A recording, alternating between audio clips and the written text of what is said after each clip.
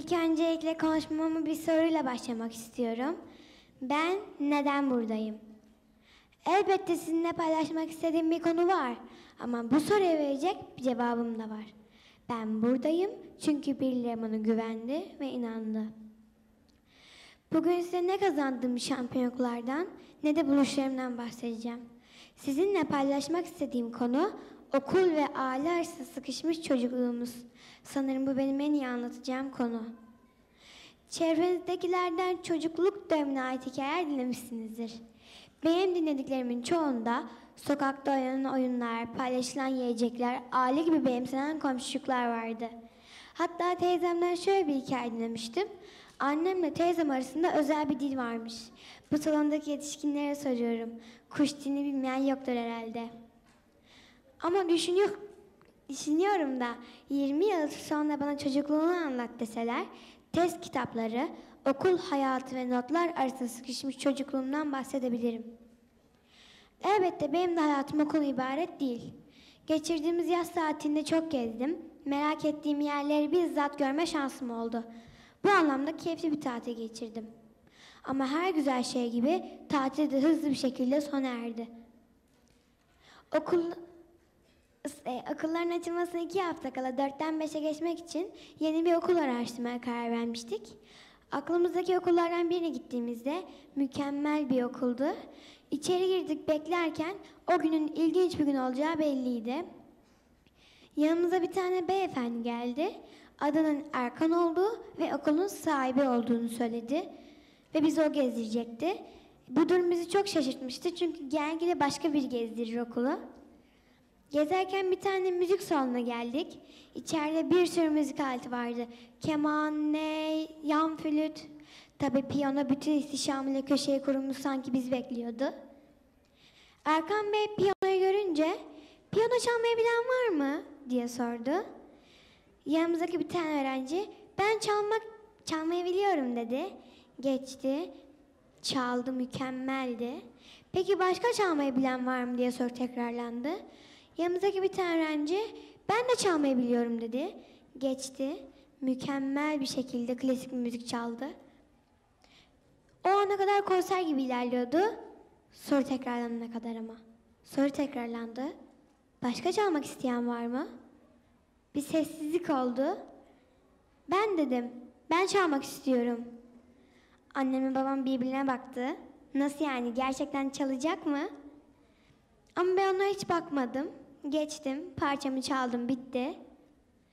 Ve Erkan Bey'e dönüp ben piyano çalmayı bilmiyorum. Notaları da bilmiyorum. İki ay önce Almanya'ya gitmiştik. Oradaki kuzenim bana öğrettiği kadar yerlerini ezberledim dedim. Erkan Bey sonra sekreterine dönüp Serra'ya benden bir artı koyar mısın? Özgüveninden dolayı dedi. Herkes beni alkışlamıştı. Ama onlarla aramda tek bir fark vardı.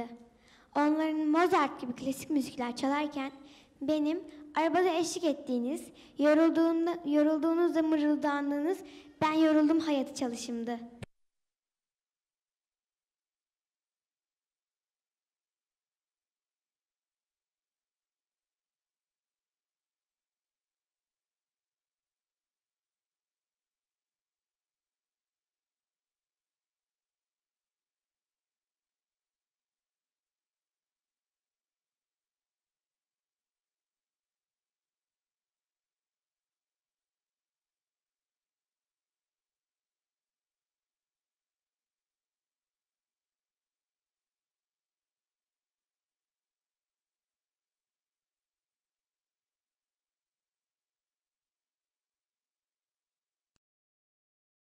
Size anlama yönelik sorular sorulsun istiyorsunuz.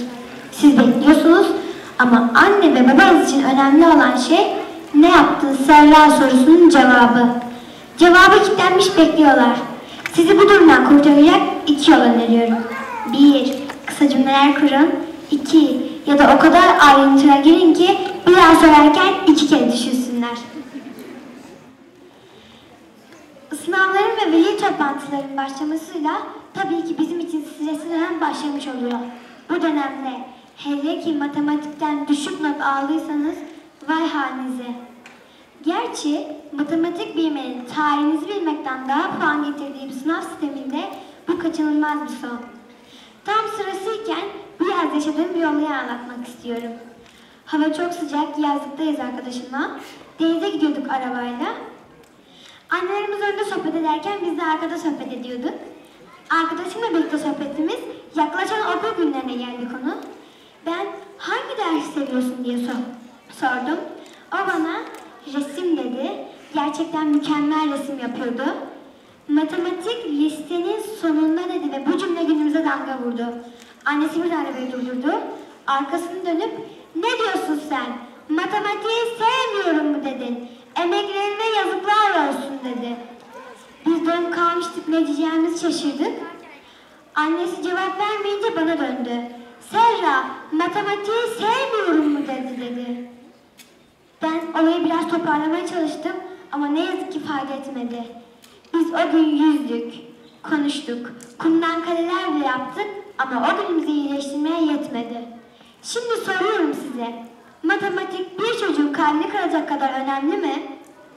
Sayılar bu kadar hayatımıza hükmediyor mu? Cevap çok net aslında. Karne günlüğü, yaşam stresi düşünce zorlanmadım cevabı bulmakta.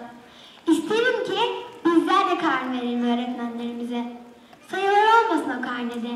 Mutlu yüzler, üzgün suratlar, gözünü kapatan emojiler olsun. Saptadığımız notları kendi duygularımıza verelim. Çocukluğumuz, duygularımız önemli. Çocukluğumuz çok daha önemli. Son sözüm beni dinleyen yetişkinlere. Çocuk olmak çok keyifli, siz izin verdiğiniz sürece.